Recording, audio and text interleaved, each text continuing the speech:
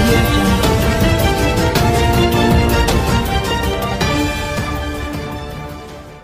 నమస్తే madam YSRCP party గెలిచిన దగ్గర నుంచి కూడా రాజధాని మీద ఏదో ఒక మాటలు మాట్లాడుతూనే ఉన్నారు. పద్ధతి ప్రకారం రాజధాని ఇక్కడ నుంచి తరలించడానికి వాళ్ళు వ్యాఖ్యలు చేశారని కూడా అర్థమవుతుంది. ఈ వ్యాఖ్యల పైన జిఎన్ రావు గారి కమిటీ రిపోర్ట్ పైన మీరు ఏమంటారండి? ఆ- రిపోర్ట్ రాకముందే జగన్మోహన్ రెడ్డి గారు మూడు రాజధానులు అని చెప్పారు. ఆ రిపోర్ట్ కూడా మూడు రాజధానులుగానే వచ్చినాయి. అవి రిపోర్ట్ ఏం కాదు. రాజధాని రైతుల్ని ఒక్కళ్ళు వెళ్ళి అడగలేదంట అక్కడ.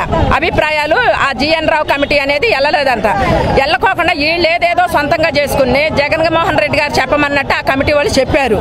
అర్థమైందా? ఒకప్పుడు హైదరాబాద్లో అసెంబ్లీలో అదే వైఎస్ రా- జగన్మోహన్ రెడ్డి గారు ముప్పై ముప్పై ఐదు వేల ఎకరాల భూమి కావాలి.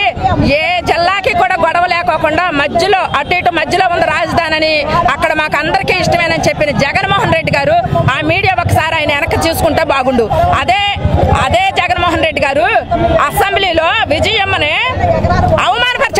బొత్స సత్యనారాయణ విజయమ్మని ఏడిపించిన మంత్రికి ఒక అదే మంత్రి పదవయ్యా? మున్సిపల్ శాఖ. మంత్రి పదవి ఇచ్చి అలాంటి అవమ వాళ్ళ తల్లిని అవమానించిన మంత్రికి మున్సిపల్ శాఖ మంత్రి ఇచ్చి ఆయన ఏం మాట్లాడుతున్నాడో తెలియట్లా.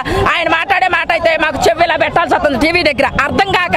ఆ, ఆయనకైనా అర్థమవుతుందో లేదో తెలియట్లా. అలాంటి మంత్రులకి అలాంటి పదవులు ఇచ్చి ఇవాళ అమరావతి గురించి అంత చండాలంగా మాట్లాడుతున్నారని మాకు చాలా బాధేస్తుంది అయ్యా పాప. మా రైతులు వాళ్ళ కన్నీరు చూడలేకపోయాం ఇవాళ వెళ్ళి వాళ్ళ ఉసురైతే మనం పోసుకోకూడదయ్యా. ఒక సామాజిక వర్గం అంటున్నారు? ఆ మాట మార్చేయండి. మేమేం తప్పు చేసాం మేమేం తప్పు చేసాం ఐదు సంవత్సరాలు చంద్రబాబు నాయుడు గారు అనగా మీ సామాజిక వర్గాన్ని ఏమైనా ఇబ్బంది పెట్టారా? ఇవాళ మా సామాజిక వర్గం ఏ బట్టే నీకు ఓట్లు వచ్చినాయి? ఆ సామాజిక వర్గం కూడా ఇవాళ చంద్రబాబు నాయుడు గారు మోసం చేసింది. మోసం చేయబట్టి ఇవాళ ఆయన ఆ విధంగా మాట్లాడుతున్నాడు. ఇన్ని రాజధానులు కాదు మూడు రాజధానులు కాదు ముప్పై రాజధానులు మా- చెప్తున్నారు వాళ్ళ మంత్రులు వాళ్ళు కూడా.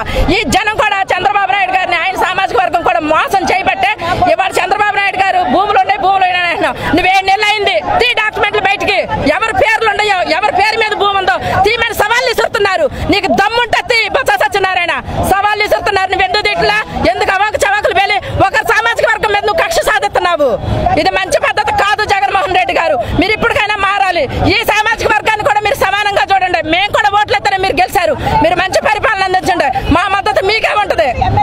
అది మేము మేడం ఇప్పుడు రాజధానిలో ధర్నాలు చేస్తున్న వాళ్ళందరూ కూడా చంద్రబాబు గారి బినామీలే వేరే వాళ్ళు ఎవరో లేరని చెప్పి కూడా మాట్లాడుతున్నారు. మీరు ఏమంటారండి అయ్యా వాళ్ళు అంటున్నారు.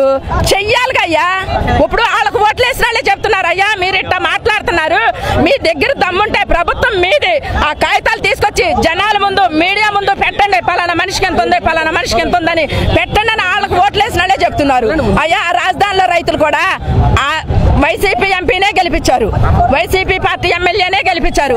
అక్కడ రైతులు కూడా వాళ్ళకి ఓట్లు వేయమట్టాక ఆ పార్టీని గెలిపించుకున్నారు. ఇవాళ అలాంటి అలాంటి రైతుల మీద నువ్వు ఎందుకు కక్ష సాధిస్తున్నావు అది నువ్వు ఒకటి తెలుసుకోవాలి జగన్మోహన్ రెడ్డి గారు. అందరం ఓట్లే పెట్టే నువ్వు గెలిచావు. నూట యాభై ఒక్క సీటు సాధించావు. కాకపోతే ఇవాళ మీ మనసు ఇలా మార్చుకోవడం మంచి పద్ధతి కాదు. మళ్ళీ మీరేంటంటే మళ్ళీ నేను అధికారంలోకి వస్తాను సీఎంని అవుతాను రాను అవనోనని ఇప్పుడే నేను ఈ కక్ష తీర్చుకోవాలని ఖచ్చితపూర్వకంగా చేస్తున్నావు కానయ్యా. అది నీ మనసుకు పుట్టింది కూడా కాదు. నీకు పక్క నుండి చెప్పేవాళ్ళు చెప్పి నిన్ను చెడగొడుతున్నారు. నీకు బ్యాడ్ వస్తుంది. అది నువ్వు తెలుసుకోయ్యా నీ కోట్లు వేసిన వాళ్ళు కూడా నిన్ను వ్యతిరేకిస్తున్నారు. నువ్వు మీటింగ్ మీడియాల ముందు రూముల్లో కాదు. పబ్లిక్లోకి రండి. మీ మంత్రులు కానీ మీ ఎమ్మెల్యేలు కానీ సెక్యూరిటీ లేకుండా పోలీసు వాళ్ళు సెక్యూరిటీ లేకుండా నడిపించండి మాలాగా రోడ్డు మీద. అప్పుడు ఏంటి అనేది అప్పుడు ప్రజల్లో ఎంత వ్యతిరేకత ఉంది అనేది మీకు అర్థమవుద్ది. మీరు ఆ మంత్రుల్ని పోలీస్ సెక్యూరిటీ లేకుండా పంపించండి. ఇప్పుడు మేడం ఒక ఆయనేమో రాజధానిలో మూడు పంటలు పండే భూమిని నాశనం చేశాడు చంద్రబాబు అని అంటున్నారు.